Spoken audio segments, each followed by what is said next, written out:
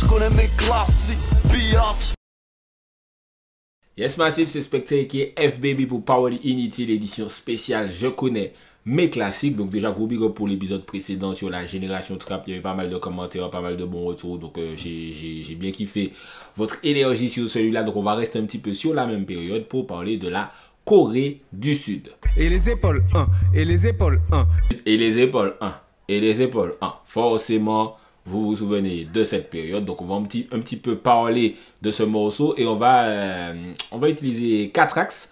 Donc le premier axe, ce sera euh, DJ Jill, donc euh, le des piliers du DJing en Martinique dans les années, on va dire, à partir de, des années 2000, on va dire. La critique du chata, aussi un axe important qu'il faut utiliser pour parler de, de, de la Corée du Sud. Puis l'explosion du morceau dont il faut bien sûr parler. Et on va finir par l'arrière-goût que ça a un petit peu discrètement laissé euh, dans, le, dans, le game, comme on l'appelle euh, vulgairement dans, dans l'underground. Et pour cela, il y aura une petite anecdote avec mon morceau La Corée du Sud que j'avais fait en, réponse à ce morceau aussi. Donc ce sera l'anecdote de la fin. Comme je sais qu'il y a des gens qui n'aiment pas quand je parle de moi, visiblement sur ma propre chaîne YouTube, vu que visiblement c'est eux qui me paient, n'hésitez pas à fermer la vidéo avant que j'arrive à ce morceau, euh, à cette partie, pour ne pas mettre de commentaires. Ah, il fait que parler de lui. Donc, premier axe, DJ Jill. DJ Jill, c'est l'un des DJ les plus marquants euh, du début des années 2000. Euh, et jusqu'à maintenant, tu vois, son influence se fait euh, jusqu'à présent sentir. Il continue à mixer dans des événements d'ailleurs. Et euh, je dis début des années 2000, peut-être milieu environ. Mais comme en fait, c'est nos grands qui allaient dans ces soirées au début. C'est-à-dire que moi, j'ai eu le temps d'aller dans des soirées DJ Jill, même quand il, mixait toujours dans des festivals, genre, euh, euh, bah, je crois l'avant-dernière Baka, je crois qu'il a mixé, ou celle d'avant, je sais pas. Mais c'est plus nos grands qui allaient au début, genre la période Yuka, tout ça. Moi, j'allais pas encore en soirée. Donc, c'est plus nos grands qui ont eu, qui ont vu les débuts de DJ Jill.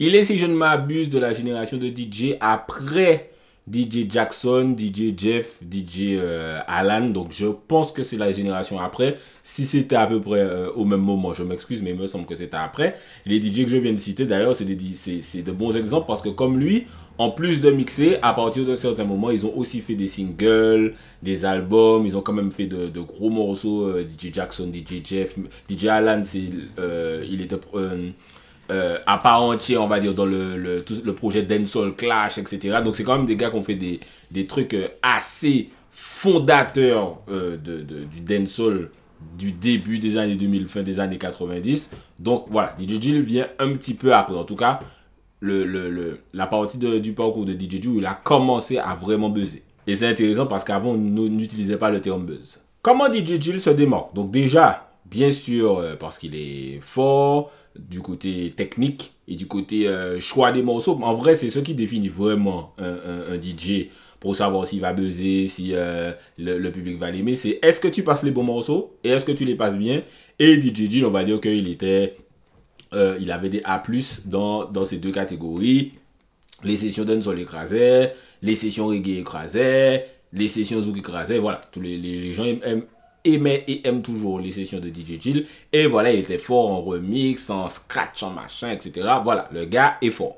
Mais il se démarque aussi via, la, via sa proximité avec certains artistes, donc notamment les artistes euh, comme Pai, euh, Byron, euh, quels artistes encore Il a aussi travaillé avec X-Men, avec Lieutenant, etc. Il a travaillé avec, avec Striker, comme il a travaillé avec ces artistes. Donc, alors, ce qui va vraiment le faire ressortir aux yeux du public, c'est, euh, vous savez, quand on téléchargeait des sons ou bien on nous envoyait des sons sur MSN à l'ancienne, c'était écrit Mix by DJ Jill ou euh, Prod by DJ Jill, je ne sais plus exactement comment c'était écrit, mais en gros, c'est lui qui donnait aux instrus le style live euh, à la RMTG entre guillemets, mais sur la chanson. C'est-à-dire que quand tu écoutais BCG Bayo de Paille, tu écoutes le Boulby, ça n'a rien à voir avec le Boulby de Booba euh, euh, Ne nous teste pas Bonne Saoko avec euh, Pai, euh, Striker, Byron et Lieutenant. Quand tu écoutes l'instru, tu te dis Ah ouais, mauvais machin, le tin, tin, tin, tin, tin. C'est lui qui faisait ça.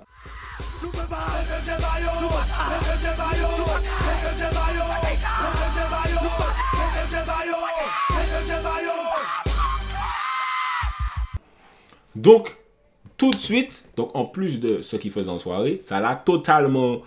Ça lui a donné une grosse aura en mode Ah ouais, DJ Jill, truc de ouf. Donc je sais pas si c'est lui qui le faisait enregistrer ou pas. Je sais que maintenant il a son studio. Ou il a eu en tout cas son studio, je sais pas. Mais je sais pas si à ce moment-là c'est lui qui les faisait enregistrer.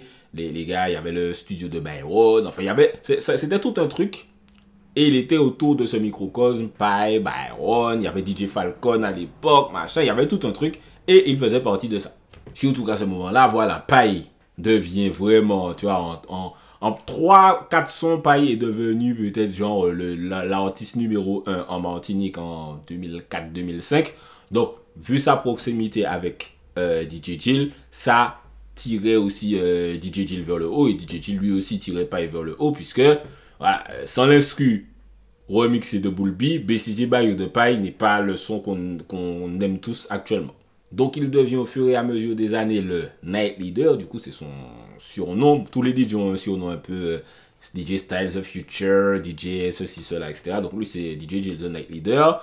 Donc c'est à peu près la génération. Moi, le moment où je commence vraiment à être conscient de son, travail dans le game, c'est euh, ben, au même moment que tout ce qui est Fox Steel, les gars comme ça, c'est des gars qui ont, allez, on va dire, peut-être 7-8 ans en, plus que moi. Je désolé si je vous vieillis, les gars, mais je pense que c'est à peu près cet âge-là que vous avez.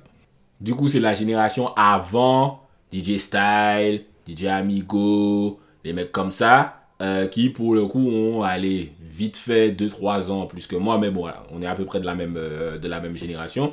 Donc DJ Gilles, pour eux, c'est un petit peu, euh, pas mentor, mais quand je parle au DJ, je sens qu'il y a ce truc, ouais, DJ Jill, un peu le, le, le- pas le Manitou, mais vous voyez ce que je veux dire. C'est-à-dire que, en gros, euh, son avis compte. Son avis compte, ses conseils comptent. Peut-être qu'il leur a donné des opportunités, peut-être qu'il les emmenait, enfin, il les invitait à mixer avec lui, je sais pas. Donc, il, DJ Jill s'est vraiment placé comme, ou a été placé comme une pierre angulaire du mouvement DJ de cette période-là. Et il faut aussi noter qu'à cette période, c'est la période où les DJ, je crois que Pepsi en a parlé dans une vidéo, c'est la période où les DJ deviennent aussi stars et voire même parfois plus stars que les chanteurs en Martinique. Euh, et c'est vraiment un truc qui a beaucoup changé la donne au pays. Pourquoi? Parce que à partir de ce moment-là, vu qu'il y a de plus en plus de chanteurs, les chanteurs, entre guillemets, comptent sur les DJ pour diffuser leur musique. Euh, c'est la, la période où voilà, les gens vont de plus en plus en soirée, les gens commencent à... Y a, les soirées se multiplient, bon, pas encore au point de maintenant, mais de plus en plus. Donc, euh, les DJ deviennent... de- ils étaient déjà une sorte de média, mais ils deviennent comme si c'est... Euh, t'as la radio. Bon, les radios ne nous passent pas. Qu'est-ce qu'on... Ah ben, c'est les DJ. Il ne nous reste plus que les DJ au final. Donc, les DJ prennent déjà une place encore plus importante. Et DJ Jill se retrouve à être le numéro 1, entre guillemets, des DJ de cette période-là. Donc voilà, il a vraiment une grosse, grosse aura pour replacer. Il, euh, il réalise beaucoup de trucs avec Paris, comme je disais. Voilà, c'est le, le DJ show de cette période-là, c'est DJ. Du coup, axe numéro 2, la critique du chata, son, le rapport de DJ Jill par rapport au chata. Euh, donc il a cette aura, il a ce, ce- ce- ce- cet impact sur, euh, sur le game qu'il a peut-être pas forcément recherché. Peut-être que le gars veut juste mixer ses sons et faire son argent et profiter de sa passion, tu vois. Mais il se retrouve quand même avec ce, cette aura-là. Et du coup, euh, c'est un gars qui parle pas beaucoup en public. C'est-à-dire que c'est pas un gars qui va faire des statuts Facebook, c'est pas un gars qui va tweeter, c'est pas un gars. Il parle vraiment assez peu. C'est avant la période de, de, de, de- des réseaux où tout le monde parle toute la journée. Tu vois, là maintenant, c'est rare de trouver quelqu'un qui ne parle plus sur les réseaux sociaux, même un petit peu, qui montre pas sa vie, etc. Bon, je sais pas s'il montre sa vie, je le follow pas sur les réseaux. Mais il, il est assez discret, entre, entre guillemets. Et euh, mais il se retrouve à faire une interview. Je crois que Paye était là, d'ailleurs, ce jour-là. Je sais même plus c'est sur quel média, si c'est Martin Première ou, ou RCI. Il me semble que j'écoute en live. Je sais qu'il y a la vidéo. Je sais pas, je vais pas retrouver la vidéo, je pense, sur les réseaux sociaux. Je vais essayer de voir, mais ça, m'étonne. Il donne une interview. Ils sont en groupe, machin. Et euh, la, la- le sujet du chata arrive. On n'appelle pas ça chata à l'époque. On appelle ça les sons délire, machin. Et on parle de Magic Fit Magic. C'est-à-dire que il n'y en a pas 60 d'artistes à ce moment-là. C'est Magic Fit Magic et allez, il y en a peut-être deux autres. Mais le gars dont on parle, c'est Magic Fit Magic. Et là, du coup, DJ Jill, qui encore une fois ne parle pas souvent, s'assoit sur, pas sur Magic Fit Magic, mais sur ses, entre guillemets, c'est de lui qui parlait. Tu vois, c'est-à-dire que il dit vraiment c'est nul, ces gars-là ne devraient pas chanter. Euh, euh, ils ont, c'est des gars qui chantent dans leur chambre et puis qui veulent devenir chanteurs et puis ils croient que c'est comme ça. Machin. Je sais plus exactement ce qu'il dit, mais allez pour l'époque, en tout cas, c'est vraiment waouh. Ok, d'accord. Il a, il a, il a vraiment, euh, il pitchait, il pitchait Bouga quoi. Ce que le grand public ne sait pas, parce que ça, c'est un truc de vraiment métaphysique de l'underground. C'est-à-dire que euh, Micheline qui habite à Rivière-Salée à cette période-là ne suit pas du tout tout ça. Il n'y a pas encore le buzz, il n'y a pas encore de compte Instagram comme le mien, il n'y a pas encore de truc où euh, ça, recentre l'information pour que ça se diffuse vraiment de ouf. Donc, c'est-à-dire que les gens du game ont suivi ça, mais sinon, vraiment, euh, à part nous, euh, nous on se branle sur l'information, mais sinon, tout le monde s'en foutait. Donc, ce que le grand public ne sait pas, c'est que ça crée une scission. Ça crée une division entre quoi et quoi? T'as les DJ qui jouent du chata, puisque le chata explose de toute façon à cette période, que DJ G l'aime ou pas. Il y a des DJ qui jouent le chata, et puis t'as les DJ qui ne jouent pas le chata. T'as des, je ne vais pas citer leur nom parce que des fois je suis même pas sûr qui, jouait ou qui jouait ou qui ne jouait pas. Mais en tout cas, les DJ qui sont en mode pro DJ Jill ne passaient pas de chata. Il y avait ce truc de. Et quand je dis le chata, voilà, certains sont des lyres que les gars considéraient comme pas qualitatifs. Là où tu as des gars comme, je peux le citer puisque c'est mon soldat, DJ Style, rien à foutre, il joue du chata, le public demande du chata, je joue du chata. Encore une fois, je dis chata, mais vous voyez de quel type de son je parle. Elles aiment le coco coco. Ils aiment le. Bien sûr, il faut nuancer. DJ Dilla, lui tout seul, n'a pas jeté l'opprobre sur les sons délire. Il y a beaucoup de gens qui critiquaient ça, beaucoup d'artistes qui critiquaient ça à l'époque. Peut-être qu'ils vont pas l'assumer. Et pas peut-être, ils ne l'assument pas. Euh, maintenant, en 2023, que le chata est devenu la musique numéro 1 quasiment en Martinique. T'as plus aucun artiste qui n'a jamais... Pouf, personne n'a jamais critiqué le chata, comme par magie. Euh, donc, DJ Gilles n'est pas le seul, la seule figure euh, centrale du game qui critiquait ces artistes à l'époque. Ils étaient nombreux. Mais DJ Gilles avait quand même pris la parole euh, dessus. Donc, il faut le noter parce que c'est important pour euh, la suite, pour qu'on- avant qu'on arrive à la Corée du Sud. Pour rester un petit peu sur le sujet, euh, Là où moi j'étais pas d'accord, et je l'ai déjà beaucoup dit dans, dans mes 5 ans de vidéos sur YouTube, là où moi j'étais pas d'accord, c'est que j'aimais pas les sons délire non plus. Pareil parce que moi je suis de la culture euh, jamaïcain, de la culture, de la culture jamaïcaine, la culture son jamaïcain, la culture euh, rap, euh, BET, machin, la qualité, le flow et tout. Donc quand j'ai vu les gars arriver, je me suis dit mais attends, ça change.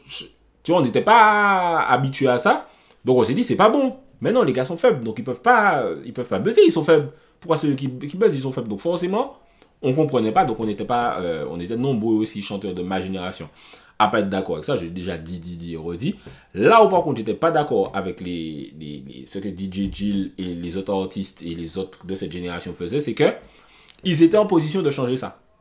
C'est-à-dire que vous pouvez pas nous dire, vous pouvez pas dire au public, ah, ces artistes-là sont fuck up, bah. Et derrière ça, ne pas faire plus pour booster les artistes que vous trouvez forts. Tu vois, dans mon interview, Magic Fit Magic, il dit, que voilà, ça l'a beaucoup blessé cette période-là, de voir des gars qu'il respectait euh, critiquer ses productions.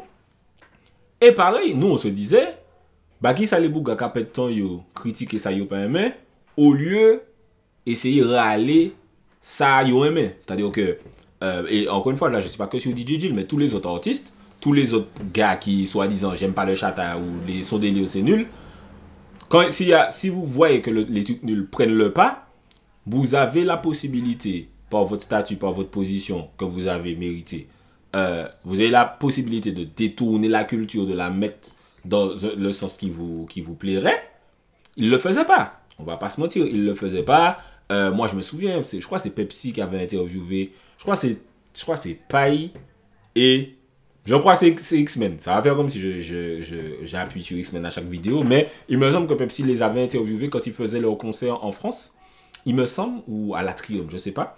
Et quand Pepsi leur demandait, oui, euh, quels artistes, euh, c'est qui les nouveaux artistes que vous aimez, machin, etc. Les gars te disaient rien. Genre, ils aiment rien.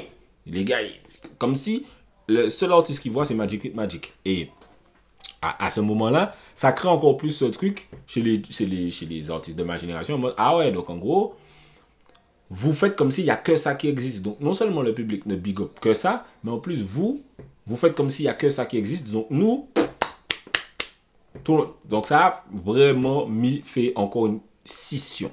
Et je pense que les, les gars ne faisaient pas ça euh, intentionnellement.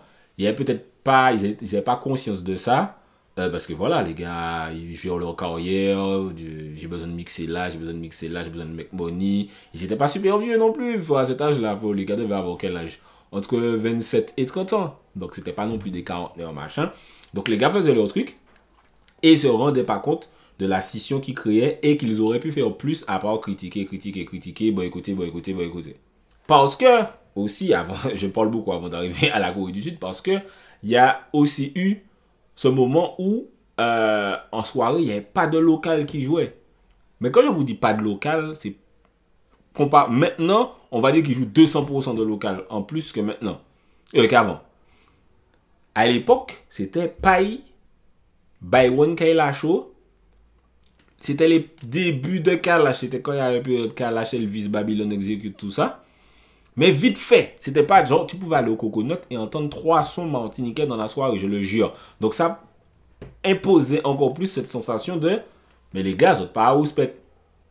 Et je me souviens que DJ Jill, du coup, euh, c'est important pour la suite, avait, il me semble que c'était DJ Will, je sais plus exactement qui est-ce qui avait lancé ça, avait comme pro projet de faire une compile qui s'appelait Caribbean Attack, où ils auraient mis des jeunes artistes, ils, avaient mis un pack d'instrus en basse qualité pour qu'on fasse des maquettes, etc. On avait maquetté les trucs, on avait envoyé, machin. La compile n'était jamais sortie. On avait eu, enfin moi en tout cas, je sais que les gens que je, moi les gens que je connais, que je connaissais n'avaient eu aucun retour. On avait vu les sons qui sortaient n'importe comment sur Madin Music, le son d'LG était sorti comme ça. Ça n'avait eu aucun impact, ils n'avaient jamais joué aucun son. Donc on était vraiment en mode, bon, en plus, donc déjà, vous avez voulu faire cette tentative-là. Vous n'avez pas mené le truc à bien, vous avez laissé le truc tomber, le truc est mort, vous avez vendu du rêve. Et en plus, quand il y a des artistes qui buzzent, même s'ils sont faisant du n'importe quoi, ça reste notre génération. En plus, votre cacrachant les bougas. Donc ça faisait vraiment un trouble. Bref, comme je dis, Micheline de Rivière-Salée, Jocelyne des Trois-Îlets, personne ne suit tout ça. Ça, c'est dans le game, dans l'underground. C'est que le game qui voit toutes ces tensions-là. Quelques années plus tard, DJ Chill sort son premier album. Donc, il sort son album Just As I Am, je crois que c'est 2014. Il y a beaucoup de beaux noms dessus. Il y a Edonia, Conchance, il y a qui encore? Il y a Pai, Pompey, Stage, il y a, il y a de beaux noms dessus. Mais, ce qui sera drôle, et du coup qui fait sens par rapport à notre vidéo qui ramène tout euh, au centre, c'est la Corée du Sud, le big tube de l'album. Et la moto, et la moto, tout la hein, hein.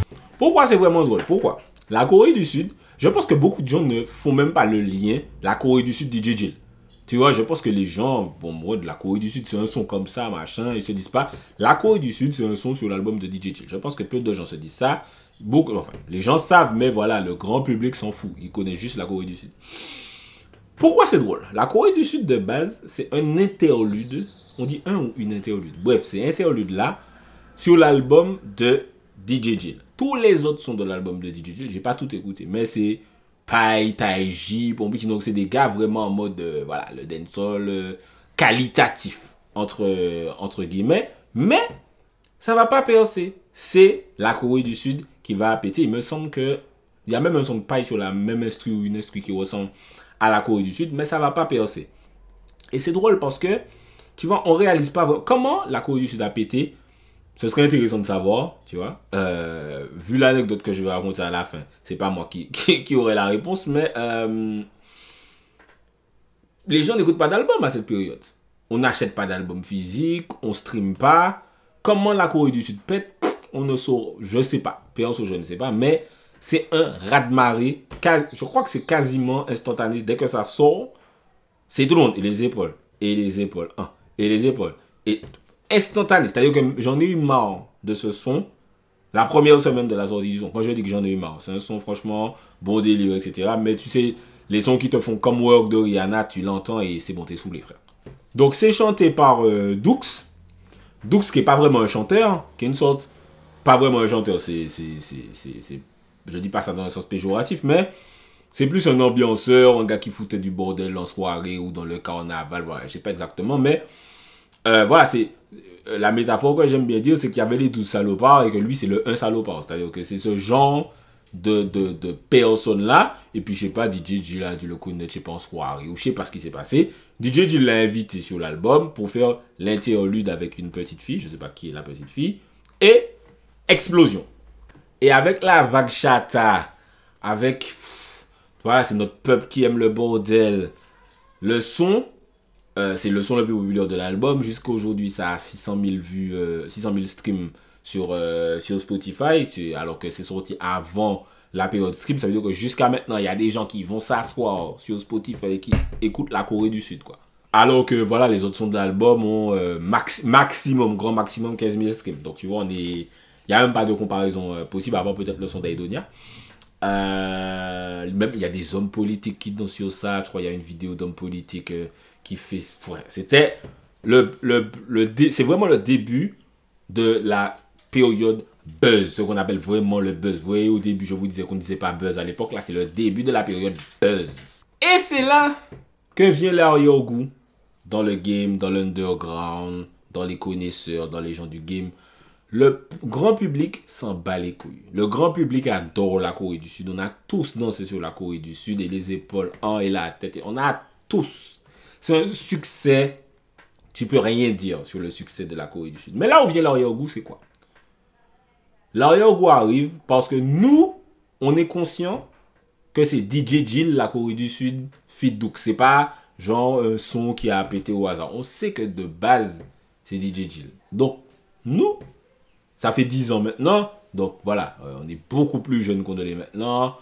Euh, voilà, on a du recul. Maintenant, c'est pas grave, etc. Mais à l'époque, beaucoup de chanteurs se disent Attends, tu as critiqué le chata, tu as boycotté les artistes chata. Il y a des d'autres DJ qui, de par ton influence, oui, parce que de par l'influence de DJ Jill, il y a d'autres DJ qui boycottaient des artistes. Vous vous reconnaîtrez. Mais de par son influence, il y a des DJ qui ont dit on passe pas de chata. Donc, tu as quand même boycotté ce, ce, ce type musical, les sons délire, entre guillemets. Et quand tu sors ton album, faut nuancer. C'était pas prévu comme single. Il a pas fait exprès de lancer ça en premier en mode ok, je vais couillonner le peuple avec ça. Il a mis ça comme interlude délire, machin. N'empêche que quand ça a pété, tu n'as pas fui le succès. Entre guillemets. Tu vois, c'est-à-dire que bon, on va pas, on va pas se mentir, il n'y a pas beaucoup de gens qui auraient fait ça parce que c'est, je suppose, des sommes d'argent quand même considérables à notre échelle. Euh, ça passe en radio, tu as fait le clip, je suppose que tu passais le son soirée, etc. Donc, il y a cet arrière-goût de Missier qu'a critiqué musique ta, et les cas font bail qui ka somme, qui ka dangereusement somme musique ta, et que ça ka buzzé, il ka prend ça ini pour prendre. Tu vois, c'est-à-dire que tu te dis pas non, je refuse la SACEM, je refuse les streams, je refuse, etc., etc. Je sais pas, ça, il a même pas touché beaucoup, je sais pas, tu vois, mais n'empêche que c'était, ok, la Corée du Sud buzz, tu as critiqué le chata, c'est un mec qui fait des sons délire, qui n'est même pas vraiment un chanteur. Tu disais que les gars, c'était même pas vraiment des chanteurs. Et au final, c'est ça qui buzz sur l'album, qui buzz sur l'album, et tu, tu, tu fais du profit dessus, quoi.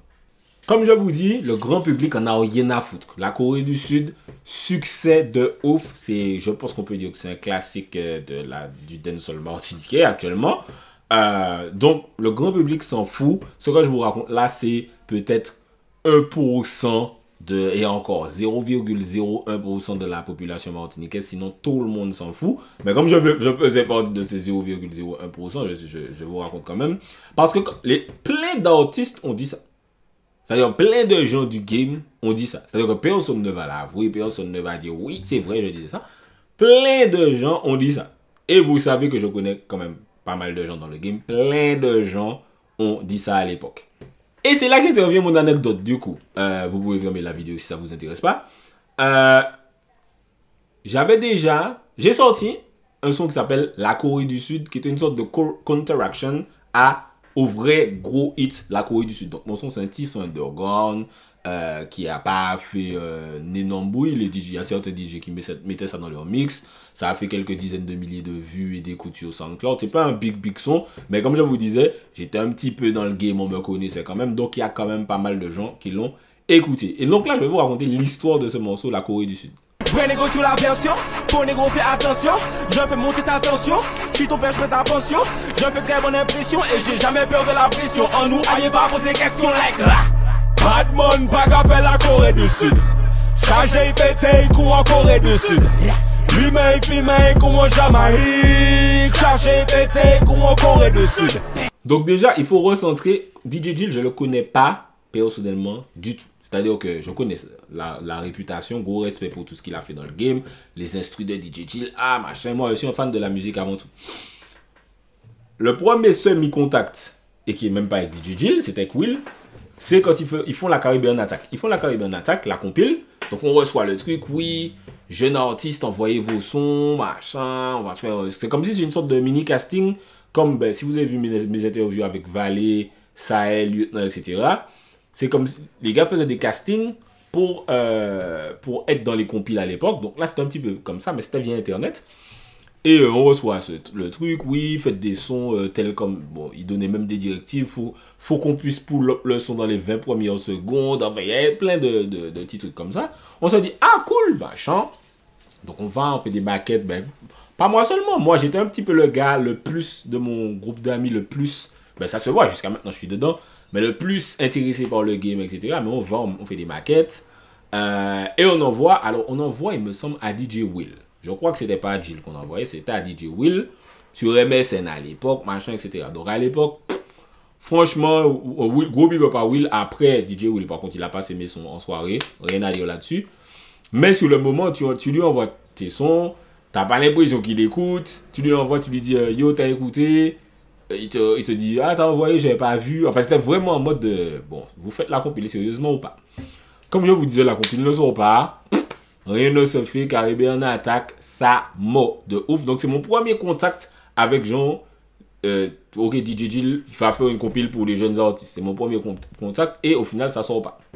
Donc au final, je me souviens, j'envoie un petit pic par rapport à ça dans un son.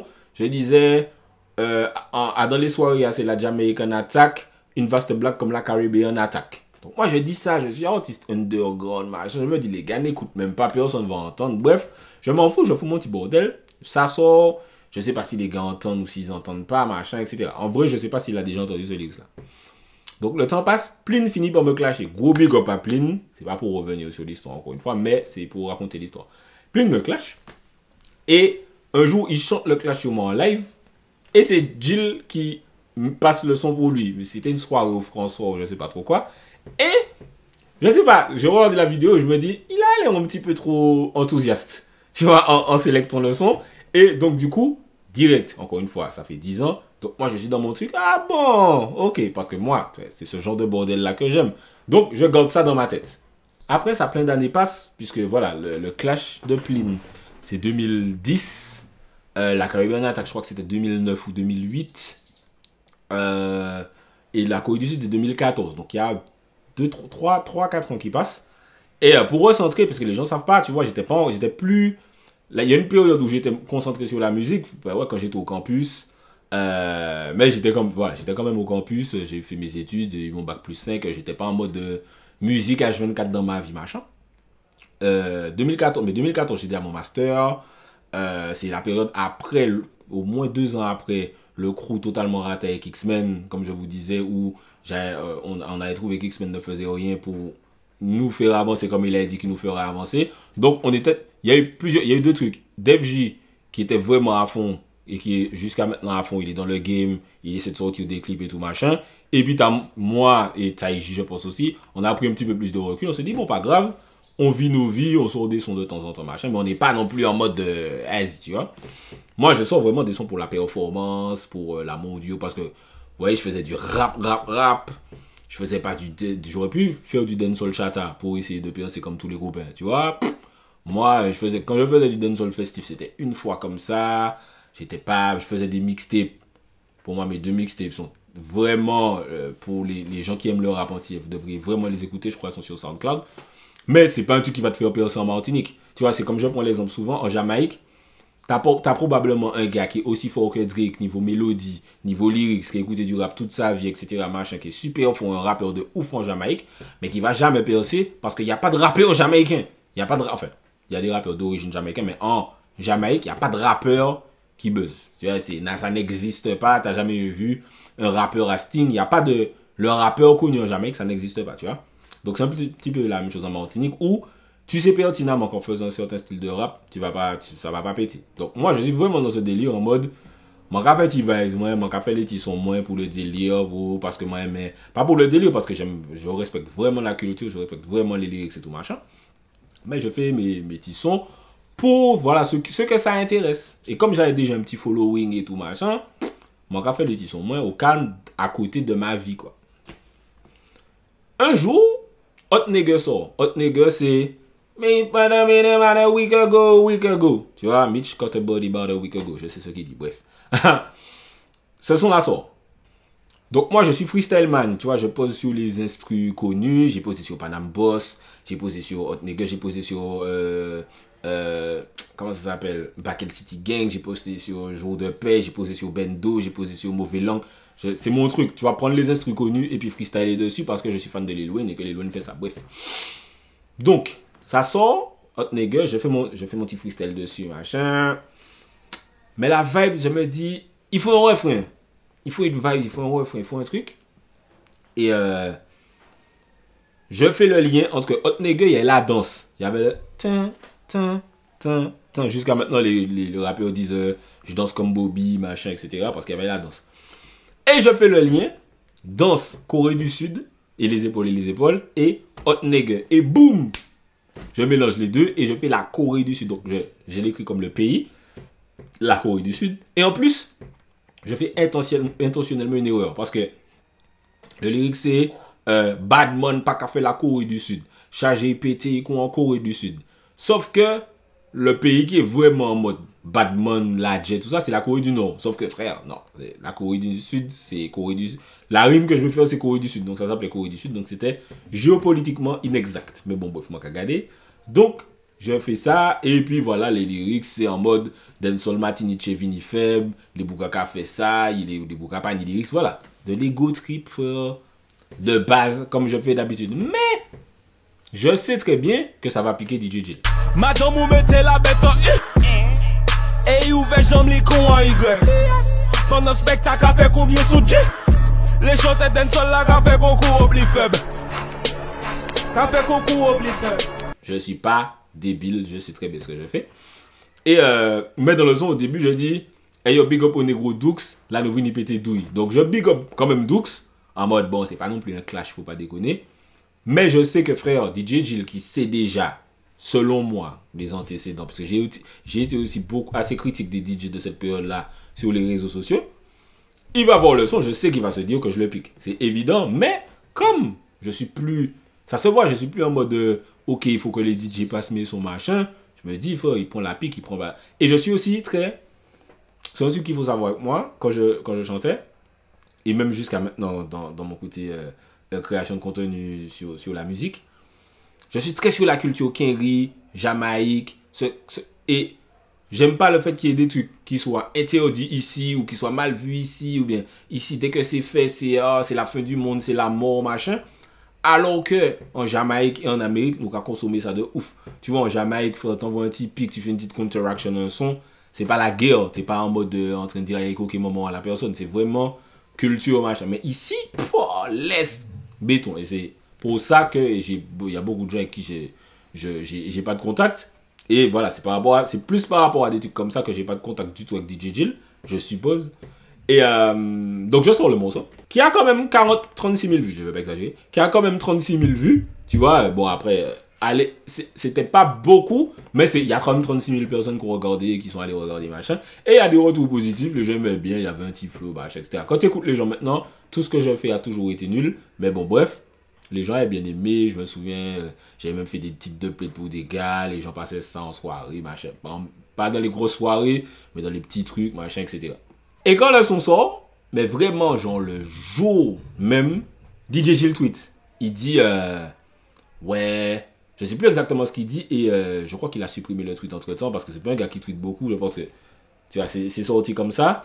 Il dit, euh, ouais, je, je sais pas si je vais retrouver le tweet, mais en tout cas, il y a le, le, terme mendiant buzz dedans. Il dit en gros, ouais, euh, ne, ne prêtez pas attention à ce mendiant buzz, un truc comme ça. Totalement son droit, puisque je surfe sur son morceau et machin, etc. Je, je peux totalement comprendre. Mais après, c'était pas le côté buzz. Euh, c'est pas, c'est pas. Je, euh, si je voulais faire du buzz à l'époque, j'avais déjà la conscience du game comme j'ai la conscience du game maintenant. Je fais du chata et c'est terminé. Je fais, je m'inspire des sons de carnaval, je fais un son de chata imbécile, ce que certains artistes nous disaient déjà de faire euh, quand ils nous donnaient des conseils. Et nous, on leur disait non, on aime trop la culture pour faire ça. Si on voulait faire du buzz, c'est ça que j'aurais fait. Envoyer des pics, de l'ego trip, tout ça, c'est vraiment, frère, c'est parce que j'aime faire ça, c'est la performance, c'est le rap, c'est le game. Voilà. En tout cas, il dit son truc de Mendiant Buzz. Euh, il a totalement le droit de le dire, je le répète. Et, euh, et je me dis, ah Eh ben, on va être encore plus relou et on va faire un remix. Donc, moi, je check mes soldats, euh, DevJ et Seize. Seize, c'est un gars qui posait sur des compiles à l'ancienne, euh, Fast Tune, des trucs comme ça. C'est un gars que je le vois, je, quand j'étais au lycée, début campus, tout ça, je le voyais comme un gars, ouais, lui, il est dans le game et tout. Parce que, voilà, comme c'est un gars de Rivière, ça allait par là. Il était sur des trucs, il chantait dans certaines soirées de DJ Falcon, enfin. Tu vois, mais c'est mon soldat que je connais depuis que je suis, je suis assez jeune quand même. Et euh, donc je l'invite sur le son, j'invite DevJ sur le son, et j'invite Taiji. Taiji ne pose pas sur le son. Alors, officiellement, je ne sais pas pourquoi, mais comme il était quand même sur l'album de DJ Jill à l'époque, ça aurait, été, je- voilà, ça aurait été un petit peu disrespect. Donc voilà, il me dit, bon, machin, mais il pose pas dessus. Yo, DevJ, remets-moi le rythme de speed. Et Taiji devait poser un couplet, mais il a pas eu le temps en fait. Mais tu sais quoi, c'est pas grave. Ok, fini trade. Et, et voilà, donc du coup, on sort le, le remix, et voilà, c'est c'est assez drôle. Parce que pour nous, c'est culture underground, c'est culture fait chier, c'est culture pique, c'est culture ego trip, machin. Donc euh, voilà, après, je suis sûr que DJ Jill l'a pas vécu comme ça, mais pour nous, c'était important quand même de, de, de faire une petite counteraction sur ça. Quoi. Et papo, ou dis-moi c'est un mendiant buzz Mais regarde le nombre de rythmes que le mendiant baise On le fucking chantait dancehall qui pas ni dignité On les Twitter et puis Facebook, si c'est combien DJ Specta aka le SeaWorld Specta eke e le tireur. Soare a katoune geria Pa ni vigil, pa ni fokin polis E pa ni moun ki kabe se fok yo isi ya. Se le motherfucking remix like Badman pa ka fe la kore di sud. Mais y'a t'es fait sans lait qu'on en Jamaïque Badman, pas qu'à danser y'a les son petit comique Yo dit que money envoie caron yo alcoolique Boycotter bougla, mais yo ka son con magique Fit magique, en laissant moi pas ni chorégraphie Mais veillez fond mou, échographie Donc voilà, c'est un petit peu euh, euh, ma, ma- ma petite anecdote sur la Corée du Sud. Ça a jamais été de la rage et tout. Parce que tu es. Tu sais, moi, le seul truc dans tout ça qui me dérange, c'est que les gars pensent que j'ai de la rage envers eux. Ça, c'est vraiment un truc alors que. Frère, euh, me- même jusqu'à maintenant, on m'envoie des actus. Je me souviens, il y avait une chanteuse de reggae qui avait fait un son. C'est DJ Jill qui a produit le son. Moi, j'ai posté, j'ai tagué DJ Jill. J'ai pas de rage envers DJ Jill, ni envers Dux, ni envers les chanteurs de chata. Le fait que les gars pensent que j'ai une rage envers eux, que je suis frustré, machin, ça me fume en fait. C'est je me dis vraiment, c'est ouf quand comme tu connais pas quelqu'un, tu fais des, des, des- tu décides des trucs et ça me passe. Moi, j'ai, j'ai aucune, j'ai aucun, aucun, aucune préconception, je sais pas si ce mot-là existe, sur DJ Jill, machin. C'est juste que je sais que l'histoire c'est ça, mais elle me dit pas lui il est comme ça, lui il, est, il pense comme ça, machin, etc. C'était vraiment juste le plaisir du game. Je me souviens après, euh, Pipe faisait les coucou freestyle. J'avais fait le coucou freestyle partie 3 avant qu'il fasse, qu'il puisse le faire lui. Donc du coup, tout le monde était fâché. Je me souviens plein, le public m'avait insulté en mode ah, comment tu oses faire coucou freestyle, tu dis spy, non non non non. Alors que j'ai en plus beaucoup paille et tout. Donc bref. Mais voilà, c'est pour vous expliquer un petit peu euh, cette période de la Corée du Sud. J'ai parlé de ouf, la vidéo est méga longue. J'espère que vous aurez. Big up à tous ceux qui sont arrivés jusque là parce que c'est vraiment méga méga long. Euh, N'hésitez pas à me poser des questions si vous avez des questions sur cette période. J'ai un peu résumé puisque je ne vais pas non plus faire des vidéos d'une heure à chaque fois. Dites-moi ce que vous avez pensé de la vidéo. N'hésitez pas à vous abonner. Parlez-moi de vos souvenirs de cette période, etc. etc. Dites-moi tout en commentaire. C'était Spectre, Parole Inutile, spécial. Je connais mes classiques. En disant rien, on a tout dit. Je connais mes classiques,